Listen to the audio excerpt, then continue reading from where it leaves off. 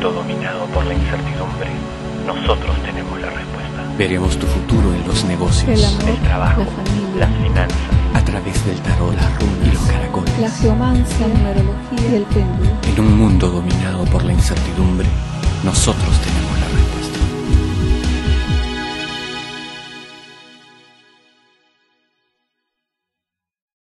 Hola Aries, bienvenido. Hombre de Aries en el amor, ¿qué está pasando contigo? ¿Te quieres alejar? ¿Quieres dejar una relación porque estás saturado de tanto pleito, de tantas discusiones? Lo que tú quieres es paz, armonía, que no la estás consiguiendo. ¿Y por qué no la consigues? Porque no estás tratando tampoco de ser un poco más complaciente. Eh, si te reclaman algo, di tú también algo, no te quedes callado, porque el silencio siempre le digo mata el amor, mata cualquier relación.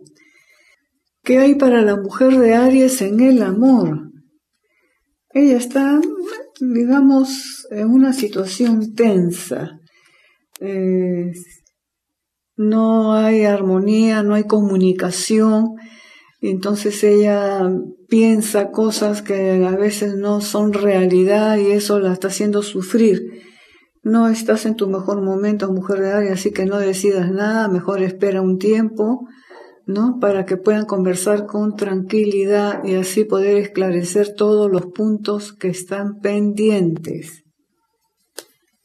En lo laboral, Aries está en un plan así de pesimismo, siente que no avanza y es cierto que no avanza, no le dan oportunidades, es cierto que no te dan oportunidades, eh, han habido ocasiones en que te has podido tú ascender y no ha sucedido, entonces si tienes tantas trabas, ¿por qué no buscas una nueva alternativa laboral? Busca otro sitio, aplica para que puedas vivir tranquilo, sosegado, porque no tienes paz en ese sentido y es razonable.